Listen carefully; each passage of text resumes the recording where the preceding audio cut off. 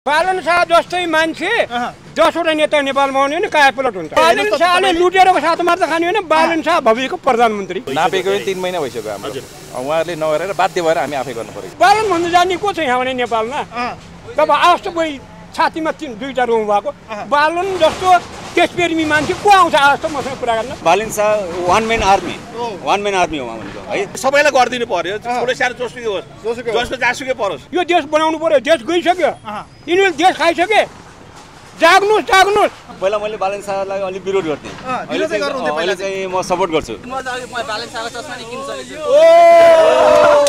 यो एमाले काङ्ग्रेस माओवादी केही होइन उहाँको अगाडि है? बालिन शाहलाई जसरी पनि प्रधानमन्त्री बनाउनुतिर हामी लाग्नुपर्छ जनताले दक्षिण काठमाडौँ महानगरपालिका वडा नम्बर बत्तिसमा फेरि डोजरसहित मानवहरूको टिम आइसकेको छ।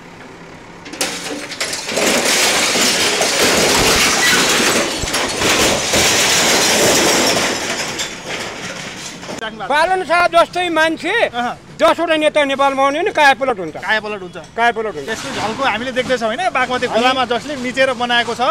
नेताहरूको यो पावरै लागेको र बा भने। यो तपाईँहरूले धेरै कुरा मसँग गर्न खोज्नुहुन्छ भने अडचालिस सालदेखि यता आएका यिनी काङ्ग्रेस कम्युनिस्ट भन्नेहरू लुटेर हुन् लुटेर आउनु। बदमास हुन्।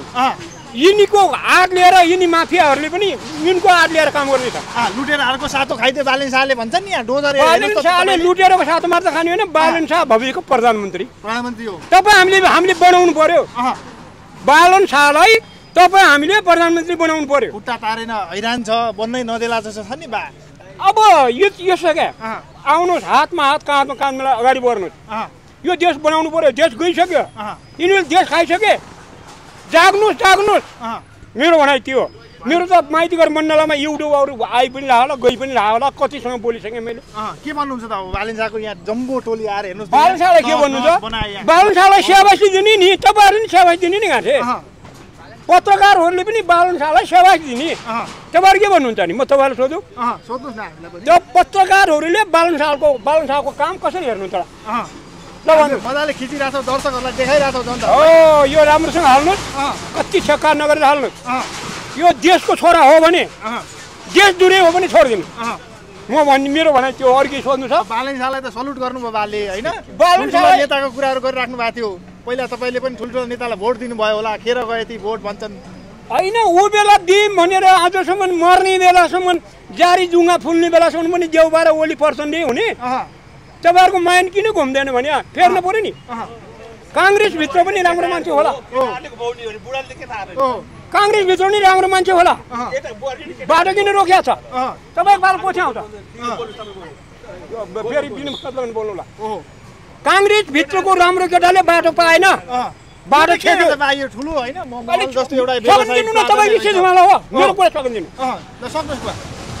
काङ्ग्रेसभित्र राम्रो मान्छे होला। देउबार रामचन्द्रले बार हाल्यो। अँ, एमाले भित्र राम्रो मान्छे होला। ओली टुकेर त्यो के भन्छ माधव नेवालले बार हाल्यो। अब तपाईँहरू उठ्नुहोस् डाक्नुहोस् अँ, एमालेका युवाहरू पनि काङ्ग्रेसका युवाहरू के भन्छ माओवादीका युवाहरू आउनुहोस् अब देश बनाउनलाई बालन शाह जस्तालाई सपोर्ट गर्ने। चौरासीको चुनावमा ओडा ओडाबाट स्वतन्त्रमा जिताउनेकोलाई भिजन भएको बालन शाह जस्ता अब सुन बालन शाह जस्ता गोपी हिमाल जस्ता सागर ढकाल जस्ता इन्जिनियर मान्छेलाई अगाडि उठाउनु पर्यो। अर्को सामानको नाम लिनु भएन त बा अर्को सम्पाङको नाम लिन्छु अलिकति मूर्ख छन् तिनी तिनी पनि ठिकै छन्।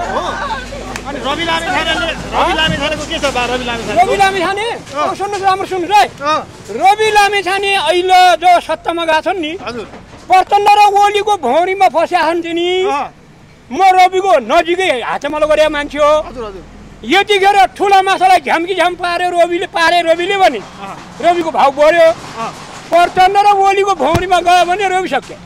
हामी डाइरेक्ट बोल्ने मान्छे बुझ्नुभयो। के छ कुरो भने ठिक छ?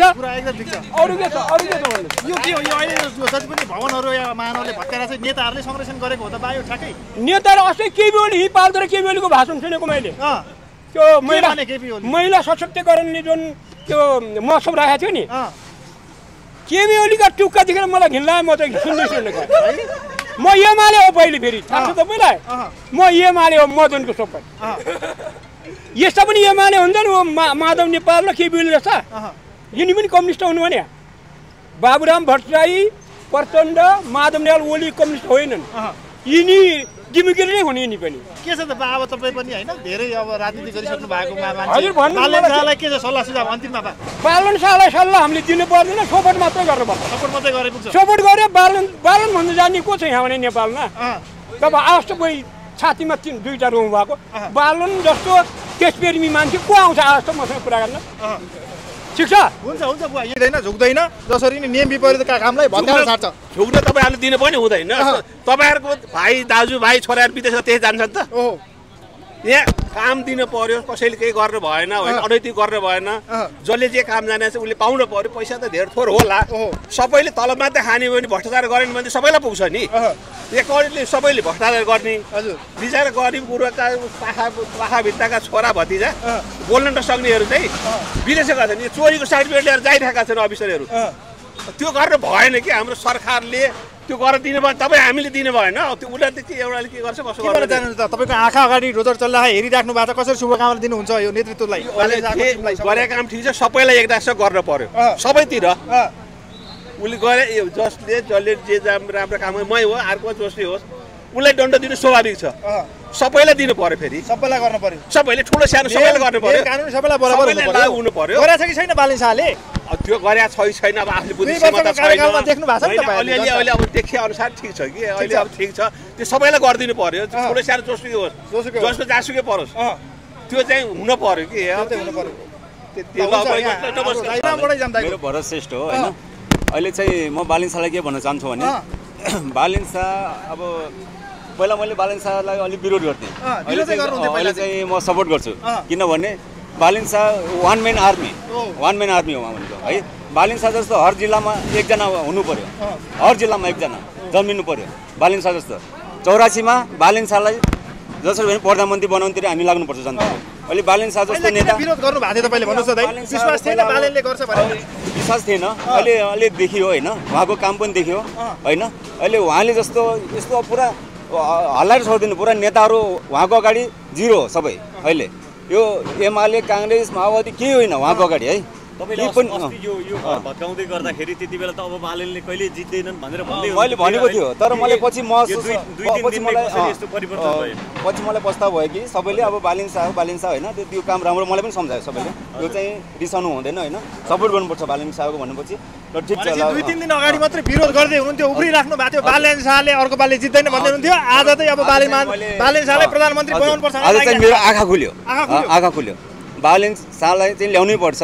के देखेर किनकि उहाँले सबै गर्नुभएको छ यस्तो अब होइन अब मैले धेरैले अब यो सरकारी जमिन हडपेको रहेछ है? हडपेर बनाएको रहेछ यो यो भूमाफियाहरूले है? त्यही कारणले उहाँहरूलाई शाहले एकदम ठिक गर्नुभएको छ। उसलाइदियो हजुर। जुन उहाँको हिम्मत उहाँ मैले भनिसकेँ उहाँको वान म्यान आर्मी हो।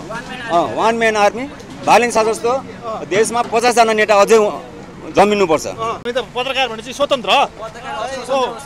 बालेनलाई है बालेनलाई जसले काम गर्छ बालेनलाई त्यसको लागि भन्ने हो हिँड्ने हो म त।